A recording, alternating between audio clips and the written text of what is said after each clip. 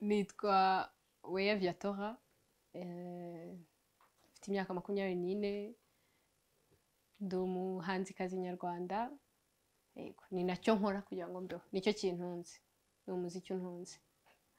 Uyu munsi turi gushutinga videwo y'indirimbo yanjye yitwa name is woman akaba ari indirimbo nahimbiye nanarimbira abagore aho bari hose abagore n'abakobwa. Yo kugira ngo bibutse yuko ari beza kandi ko bashoboye kugera ku cyo bashaka cyose. Ko batagomba gusakrifiya ibyabo kubera abandi gusa ahubwo bagomba no kwireba n'iterambere ryabo n'uko bo bashoboye. Aho ngaho hari impamvu ebyiri. Icya mbere ni ukubera mesaje y'indirimbo. Um, indirimbo iri empowering ni indirimbo it's a statement. Kandi the time was right. Kubera mu ndirimbo zose name is woman twashaka ko yasohoka. Bibaye byiza ko dushaka ko yasohoka bibaye byiza ku munsi wahariwe umwari n'umutegarugori. Um, so yeah Um, dufite indirimbo nyinshi twifuza gukorana nawe ariko iyi ngiyi yari nk'uburyo bwiza bwo gutangira bitewe n'indirimbo n'ibyo ivuga. Yeah. nashatse kubikora muri bibiri na cumi n'icyenda. Ariko nkomeza kugira impamvu zituma ntabikora.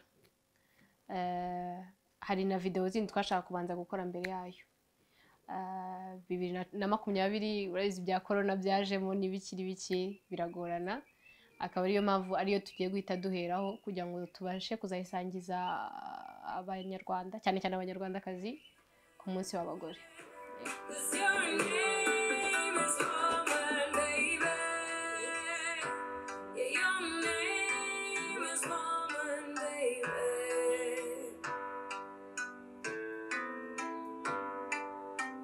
Shenge.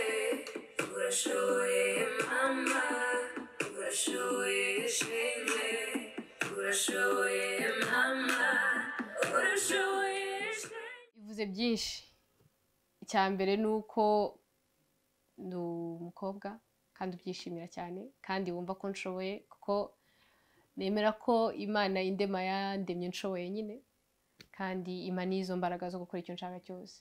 Ni ibintu nagize imana nkura um, bat- batambwira ko hari ikintu ntashoboye gukora. Nakuze numva ko koko icyo nshaka gukora icyo ari cyo cyose nagikora.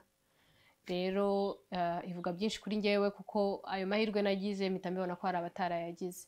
Hari abakikerekwa inzira runaka bagomba gucamo bayibujijwe.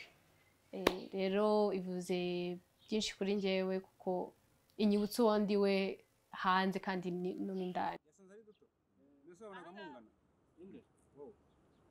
ngaho. Abanza aho ngaho Niba ari icyuma about it. Think. Nyine ni cya gisitati. Njyewe personally as a song iri uplifting iyo uyumvishije nyine. Harimo harimo kote ebyiri. It's like pain pain and glory in a way. Nyine i- iyimbodinga complexity yo kuba umugore. Ntabwo ndi umugore nyine ngewe ariko abagore tubana nabo tubarimo baturimo okay ibiryo biri he ibiryo biri muri saramanje. Ifunguro ridategurwe saramanze twebwe ni sara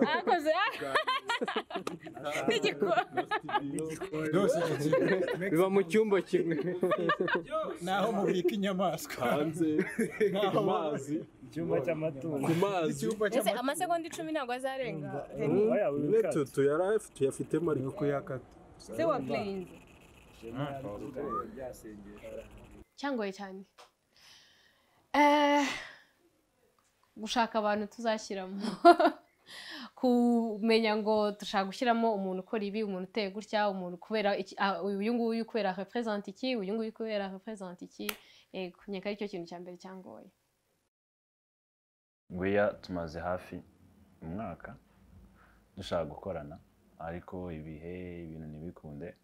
So once we got together um, twatekereje indirimbo twakora dutekereza ama concept ubwo tukajya duhamagarana tukungurana ibitekerezo. Ubwo njyewe remi na weya um,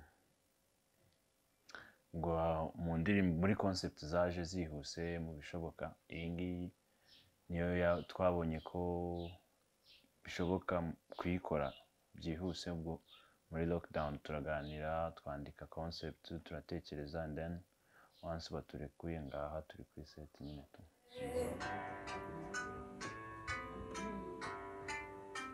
Urashoboye shenge urashoboye mama urashoboye shenge urashoboye